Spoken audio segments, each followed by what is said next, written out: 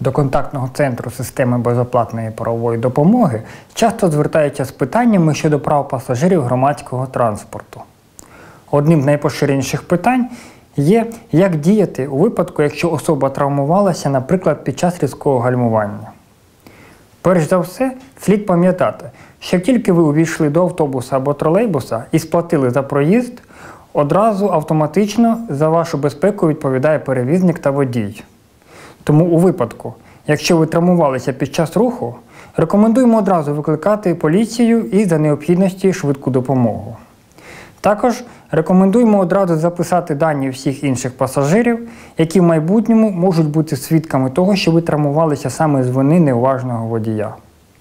У випадку, якщо травма дійсно відбулася з вини водія, він має відшкодувати вам матеріальну шкоду, зокрема компенсувати витрати на лікування, а також ви можете претендувати на відшкодування моральної шкоди. Якщо водій відмовляється добровільно сплачувати відшкодування, ви можете звернутися до суду і за наявності відповідних доказів суд зобов'яже його виплатити цю шкоду. Крім того, у разі порушення водієм правил дорожнього руху або експлуатації транспортного засобу, його можуть притягнути до кримінальної відповідальності відповідно до статті 286 Кримінального кодексу України. Варто звернути увагу на те, що під час розгляду у суді важливу роль відіграють докази. Тому для того, щоб зібрати якомога більше доказів надзвичайної події, рекомендуємо самостійно вжити деяких заходів. Наприклад, зараз у багатьох місцях здійснюється відеоспостереження.